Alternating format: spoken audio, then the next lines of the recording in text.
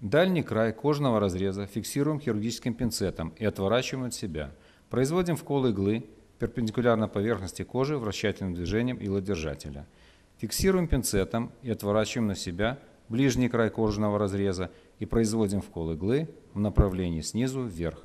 Фиксируем пинцетом кончик иглы над поверхностью кожи, перекладываем на иглу иглодержатель и вытягиваем ее. Далее вяжется с соблюдением правил узел и срезаются концы нитей. Точки вкола и выкола иглы от краев раны находятся на одинаковом расстоянии, примерно 5 мм. Расстояние между узловыми швами определяется необходимостью полноценной адаптации краев раны и составляет в среднем 1 см.